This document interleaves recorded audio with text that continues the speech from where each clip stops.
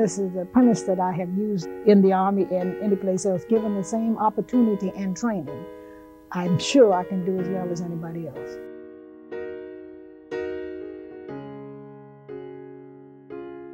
It's an honor to have a museum that highlights all of the accomplishments um, for women in the military. I, I think we've come a really long way, and I think that this is no better way to honor that and to show everyone what we've done and what we're doing.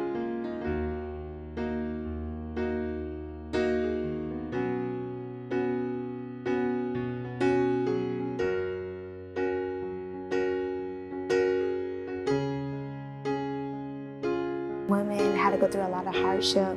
They paved the way for me to be here. In fact, I don't have to go through the same struggles that they did. So I'm very grateful that this was here so I can learn more about my history, about what the other women had to go through.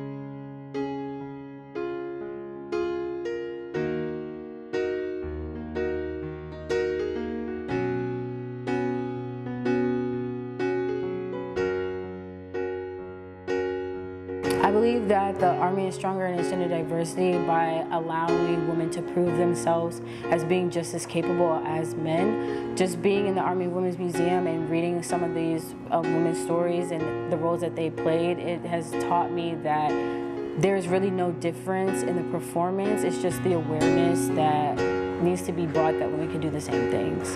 One of the things that makes the United States military such a vital, fierce fighting force is our diversity. Women see things different than men. We're programmed different. And it's always good to have a second set of eyes or a different set of experience. So that is why it's critical to have gender diversity, you know, because all it does is just make us even stronger as a force.